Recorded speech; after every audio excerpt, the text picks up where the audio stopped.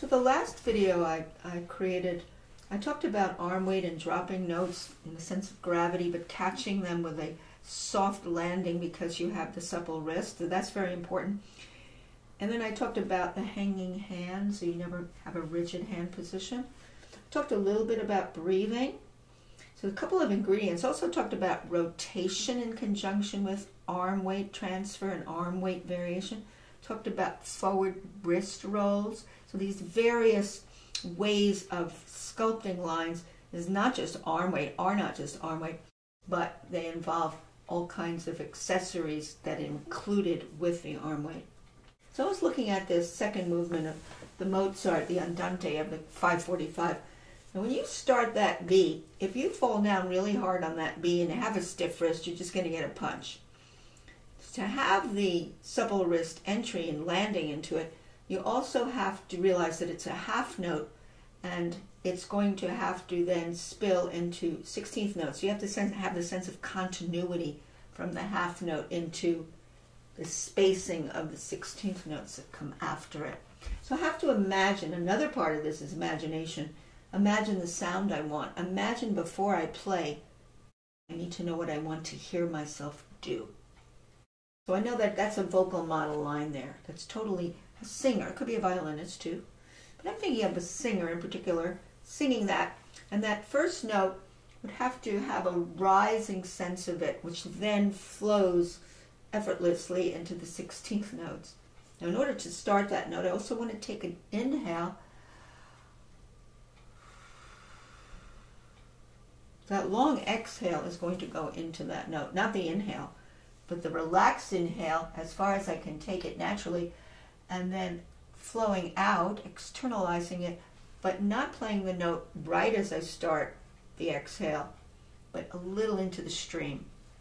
So that's what I'm going to do. And I'm going to go to that note this way. I can almost pantomime what I'm going to do. Again, let's see if I can. That's what's going to feel like and look like to me because I already feel that sense of flowing out of silence into sound, but on the stream of the breathing, the exhale. Continue.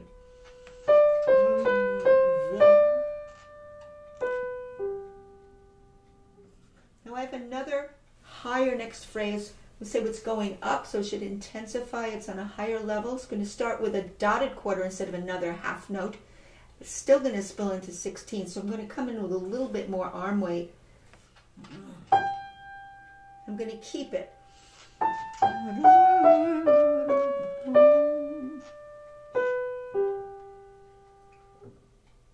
Now I have a dotted 8th 16th.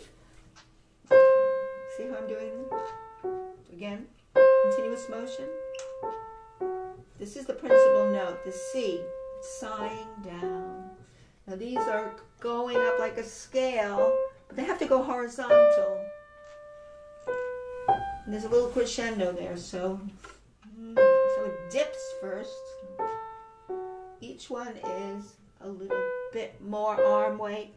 Hmm. Now this is going to start coming out of that last note, which is deeper in the keys or a little bit more arm weight. I'm going to start the 16ths are starting to come down. So in order to get the diminuendo, I have to start with a deeper level of arm weight so that I can bring down that long set of 16ths. And I'm going to think of them in groups of four. Here again, you have to know how you're going to phrase it. I think of this as waves of four. So I came out of this. Keep that same bigger sound when you start.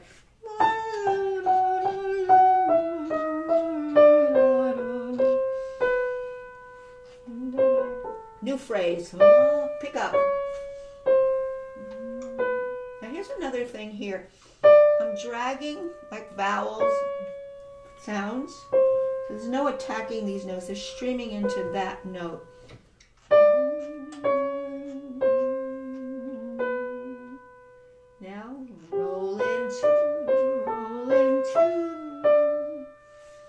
I'm done. Now a scale.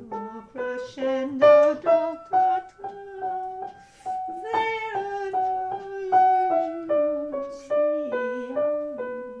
As always, adjust.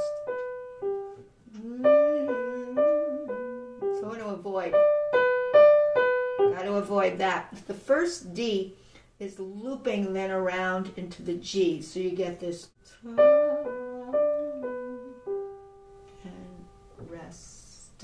Start soft. When I do that, I'm thinking of the C of those four notes being the principal, the principal melodic note that then loops down twice. T autumn, T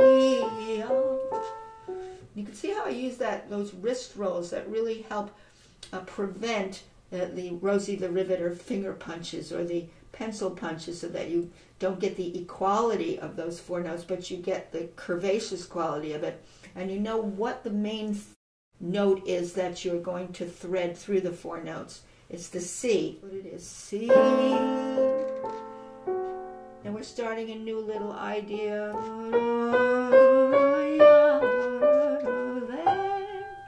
Most.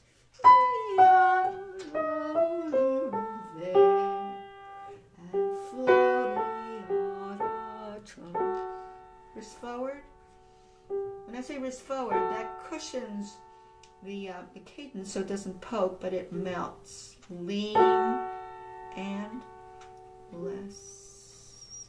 So if you use a two fingers there and you go finger, finger, A, G, you're not going to get the beautiful melted resolution. That's exactly what you want to hear yourself do. Breathing helps too.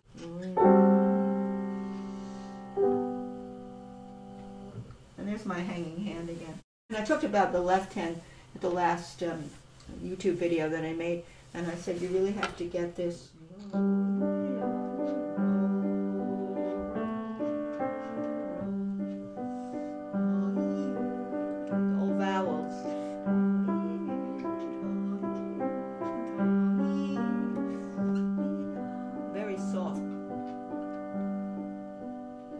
A bed of harmony, as I pointed out in the last video. That's going to have that particular figure for this whole page as really going to stay pretty much uniformly pretty soft so it doesn't drown out the soloist because it is basically accompaniment. It's definitely accompaniment. And that's why I always like to play chords out of these, make them into chords before I do a broken chord so I can feel my arm weight and feel my arm floating so I get this. Mm.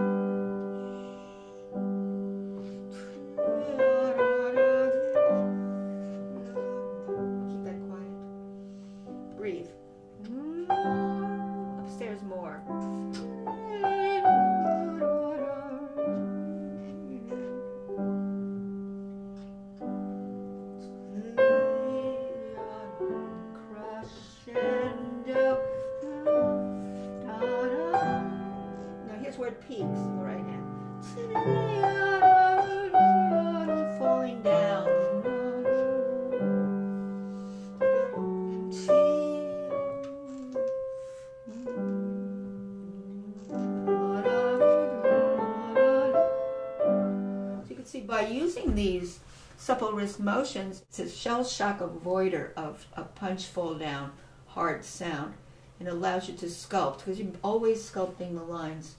Course, after you do the chords through that left hand and keep them very, you want to get that nice. Uh,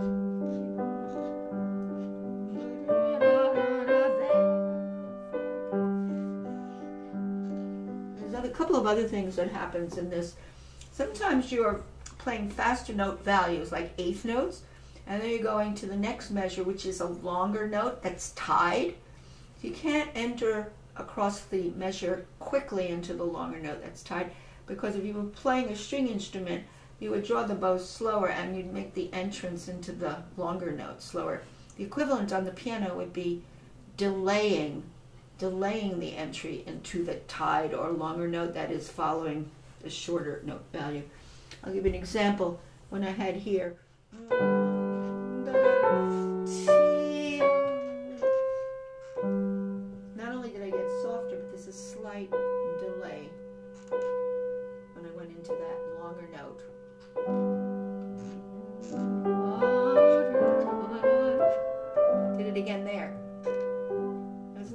extreme, and then be playing Chopin, but it's not extreme. But it just helps the color of the rhythm get a, a specific color to a long note tied a color to a dotted eighth of a six dotted eighth sixteenth figure, you have to know the color of the rhythm in your ear of what you want to do. And the color of the rhythm when you start is, of course, is that way you enter it.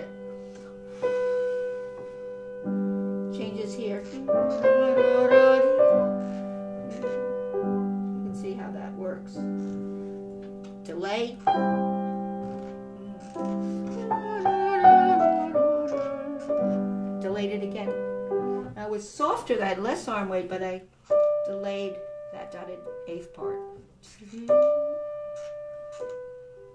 It really is something you have to do with Mozart, particularly because it's a vocal model. Uh, so the vocal modeling in the playing, knowing what you want to hear, of course, it's a challenge. Like bigger energies, you get much more beautiful phrasing all around.